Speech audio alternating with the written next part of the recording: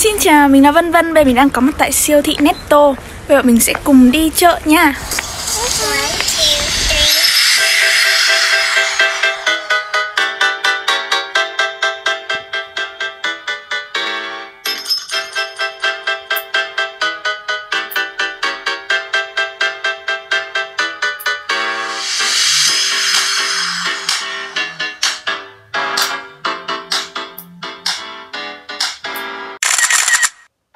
Hello, và bây giờ bọn mình sẽ chuẩn bị đi lên siêu thị nha. Và đây là outfit của mình ngày hôm nay. Mình chơi cả một cây trắng luôn. Còn cái mũ màu tím là mình được một cô người Việt đan tay tặng cho mình đấy. Bọn mình sẽ đi mua thịt này Và đi mua một số đồ hoa quả nha. Ok. Cũng như trong video phần 1 thì hôm nay bọn mình đi chợ cũng sẽ chỉ cầm 70 đồng thôi. Thực ra đối với trung bình của bên này thì 70 đồng một giờ là không cao. Và thực tế mình còn nằm trong top nghèo bên này mọi người ơi. Hoa quả là một thứ gì đó thật là quyến rũ mọi người ạ. Đã thế lại còn giảm giá cực kỳ nhiều. Quả Việt quất bên này ăn ngon lắm á Mà hôm nay bán có 10 đồng. Còn dâu tây một cái món mà mình rất mê ở Việt Nam Hôm nay chỉ bán 15 đồng cho 400 gram.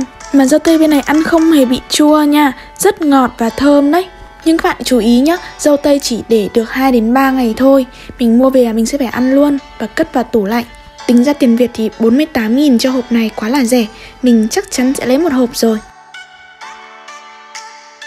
Bên cạnh những hoa quả rẻ thì chuối bên này khá là đắt nha mọi người. Mình chưa bao giờ thấy chuối ở bên này được sale luôn. Thường nó sẽ tầm 2 đồng đến 2 đồng rưỡi một quả, tức là khoảng 7 000 một quả.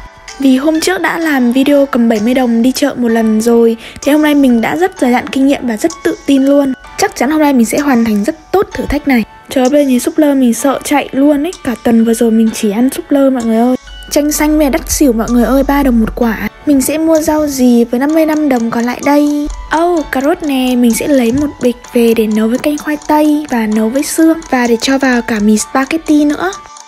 Kế ngay bên cạnh là quầy thịt nha. Thôi mình không mua thịt heo đâu Cả tuần vừa chỉ ăn thịt heo thôi á. Đi chỗ khác coi xem có cái gì không nha.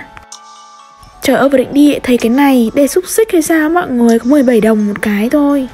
Nhìn cũng khá là uy tín đấy Bây giờ mình sẽ mua sốt spaghetti. Sốt này chỉ có 5 đồng thôi, Và mình có lại 45 đồng sau khi lấy một hộp sốt. Mình đã thử những loại sốt này rồi Đây đúng là chuẩn sốt spaghetti của Đan Mạch luôn. Ăn rất thơm và có mùi hương rất đặc trưng của Đan Mạch. Recommend cho mấy bà ăn sáng bằng taco nha. Rất nhanh gọn và rất ngon. 8 đồng một bịch này 6 cái, Tha hồ mà ăn luôn á. Nó khá là giống bánh mì Việt Nam nhưng mềm hơn một chút đấy. Chúng mình bây giờ qua hàng bánh kẹo xem có gì không nhá. Một tip đi siêu thị cho mọi người đấy là tất cả những sản phẩm nào mà có dán tem vàng thì đó là sản phẩm thời điểm đấy được giảm giá. Nên mọi người có thể cân nhắc mua những sản phẩm này để được với cái deal hời nhất. Đây là giảm giá thật, giảm giá chuẩn luôn nha, không phải upsell đâu. Bởi vì ngày hôm sau thì giá nó sẽ quay trở lại như cũ đấy. Mình đã tìm được một loại sữa yêu thích mới rồi mọi người ơi. Không phải là sữa không đường như mọi ngày nữa Mà hôm nay bọn mình sẽ uống sữa ca cao. Mình recommend cho mọi người thử uống sữa này nha. Nó thơm, ngon, ngọt Mà cái chất sữa nó cũng rất là sánh mịn ý. Tóm lại là 10 điểm luôn. Bình thường mà mình đi siêu thị á Là mình sẽ lấy 2-3 hộp luôn đấy. Nhưng hôm nay phải tém tém lại Bởi vì mình chỉ có giới hạn số tiền. Ngon như vậy nhưng nó chỉ có 10 đồng thôi ý. Nhưng mà thực ra là do sữa bên này nhìn chung nó rẻ. Mình thích ăn những đồ ngọt vậy nên mình sẽ mua một túi ngô một cân này chỉ với giá 11 đồng. Đây là ngô đông lạnh nha, mọi người có thể sử dụng nó trong thời gian khá là lâu. Mọi người chỉ cần khi mà dùng xong thì mình sẽ để vào tủ đá thôi. Và khi mà cần dùng thì mọi người chỉ cần giã đông một chút là được. Bây giờ ngân quỹ còn 15 đồng này mọi người. Tiếp tục đi và chọn đồ nào, mình còn chưa mua thịt đó. Có bác nào rất mê bánh mì bơ tỏi giống như mình không? Ở Việt Nam mình rất khoái cái món này Trời ơi, siêu buồn cười luôn. Cái bánh mì bơ tỏi đây nó sẽ được đóng đông.